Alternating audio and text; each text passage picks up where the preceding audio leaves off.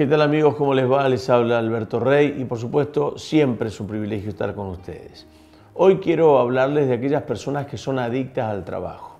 Bueno, a veces nos jactamos, ¿no? Somos los sarmientos del trabajo, trabajamos tantas horas, duermo tan poco, como si eso fuera solamente un beneficio o que la prosperidad o el suplir las necesidades solamente pasan por el trabajo. Lo cierto es que ya ocho horas de trabajo no alcanzan para llevar el alimento a la casa, pero tampoco pasarnos de rosca, irnos a tal punto que ya casi no dormimos, ya no tenemos tiempo para con la familia, eh, a veces son dos trabajando, los chicos quedan todo el tiempo solos y la verdad que la excesiva carga de actividad laboral muchas veces no es saludable, porque cuando uno termina haciendo un balance en la vida, se da cuenta que hemos más lo que perdimos que lo que hemos ganado.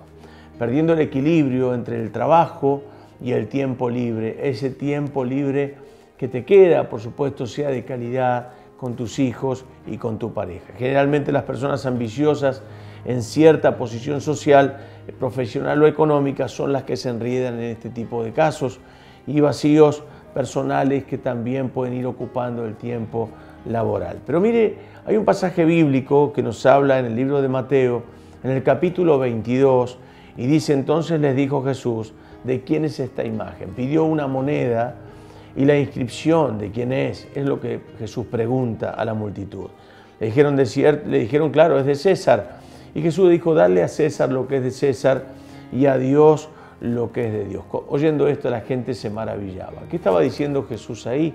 Hablaba sobre el equilibrio, de ser capaces de encontrar el equilibrio entre lo laboral, entre nuestras obligaciones personales, entre nuestras obligaciones familiares, emocionales, que puedas entregarle el tiempo a tus hijos, el tiempo a tu pareja y el tiempo realmente necesario para que encuentres la felicidad. Ahora te hago una pregunta, ¿cuánto tiempo le estás dando a Dios? ¿Es todo de trabajo? ¿Es solamente tu tiempo para trabajar? ¿Qué pasa con tu familia? ¿Y qué pasa con ese Dios que se quiere acercar?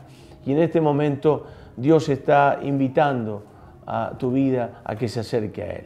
Y Él dice, aquel que a mí viene, yo no le echo fuera. Por eso te invito a que te acerques a un lugar, que busques ayuda, que encuentres a Dios mientras pueda ser hallado, porque recordad que ante todas las dificultades de la vida, ante todos los problemas que se presenten, siempre el cielo responde.